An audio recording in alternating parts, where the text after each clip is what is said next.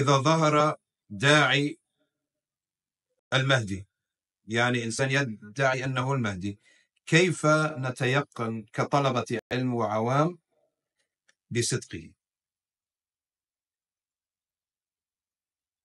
يعني كلنا يجب أن يكون مه- مهدي.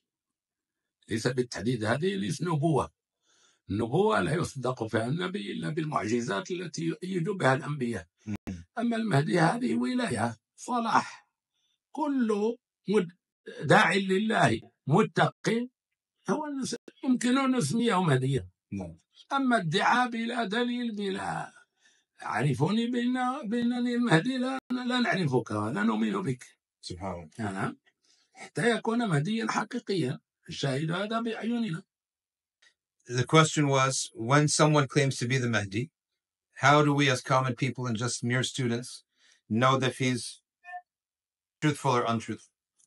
The Sheikh said, every one of us should seek to be guided and act righteously. And the Mahdi is not a prophet. Therefore, belief in him is not treated like belief in a prophet, that you must believe in him or not believe in him. Rather, anyone who makes the claim, we reject it. But if someone acts appropriately upon the Sharia and we can all see his behavior in front of him, then we follow him and we love him, and it's a type of wilaya.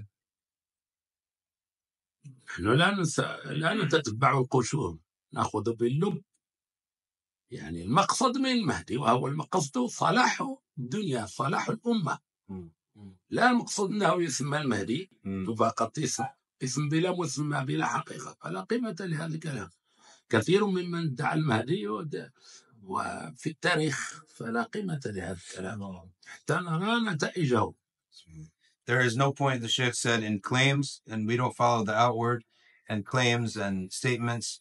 We look for the inward, which means his actions and his behavior, which we can all see.